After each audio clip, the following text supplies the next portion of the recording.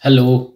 At the beginning of this lesson, I'd like to explain that adjectives in Egyptian Arabic agree in the gender and number with the nouns they describe. For example, concerning the gender, the color white is abyad in Egyptian Arabic. Abyad. This is in case if the noun is masculine. And it will be beda, beda if the noun is feminine. Also, in the beginning, I want to start with uh, basic vocabulary. The first word is لون. لون means color. لون. ألوان. ألوان means colors. ألوان. White dress. فستان أبيض. فستان أبيض.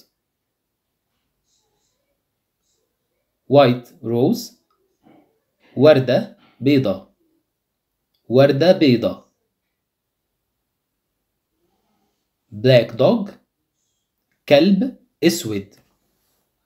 كلب أسود. Black cat.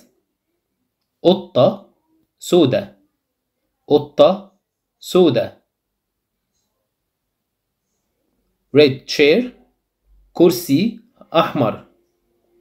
كرسي أحمر. Red skirt جيبة حمراء. جيبة حمراء. Yellow card كارت أصفر. كارت أصفر.